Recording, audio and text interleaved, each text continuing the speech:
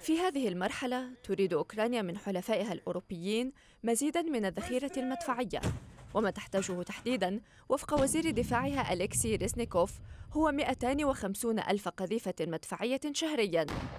تقول إن من دونها لن تستطيع التقدم على آلة الحرب الروسية.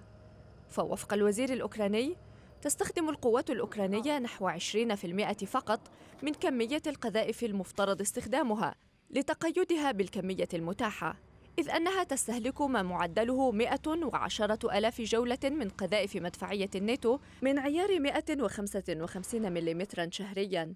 لا يتجاهل الأوروبيون تحذيرات كييف على هذا الصعيد وضمن خططهم رصد ميزانية بقيمة مليار دولار من أجل تزويد الأوكرانيين بقذائف مدفعية خاصة من عيارات 152 و 155 ملم التي تستخدم في مدافع هاوتسر الأمريكية ونظيرتها الفرنسية المحمولة سيزار.